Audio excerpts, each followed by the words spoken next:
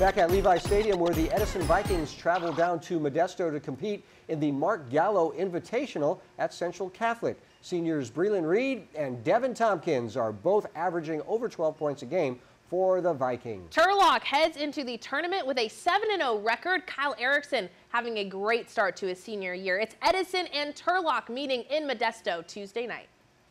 The Edison Vikings facing off against the Turlock Bulldogs in tournament play at Central Catholic Tuesday. Both teams tied in the first as John Taylor takes the ball and throws this sweet pass behind his back to Cruz Burrise, who goes in for the layup, and the Vikings take a two-point lead at the end of the first. We go to the second quarter now, and that lead is gone. Daniel Malagon sees an opening and shoots the three to get his team back on top by one. Still in the second, Devan Thompkins is going to go airborne here. He shoots over a defender and cuts the lead by one. However, Jed Ladine is going to shoot the corner three and get the foul as he would give the Bulldogs a four-point lead with that four-point play to end the half. On to the third as Ladine finds an open Michael Heidelbach with only one defender in his way, easily scores a layup to give Turlock a three-point lead in the fourth. Both teams still battling it out as Malagon is going to shoot using only his right hand.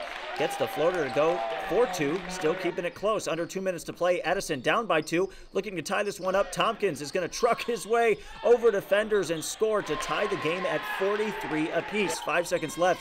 Edison makes a final attempt to score at the buzzer as time runs out, but we're heading to overtime. Turlock wasted no time putting points on the board as Heidelbach finds Ladine for the corner three and gets it as they try to close this one out. The Vikings couldn't find an answer, though, to the Bulldogs' offense. Luke Levake takes it himself and scores the two with this easy floater to go up by 10. The Vikings would try to make one final effort, but time runs out as the Bulldogs win in overtime, scoring 13 points with a final score of 56 to 49. Thompkins leads all scorers with 22, while Turlock has three in double figures.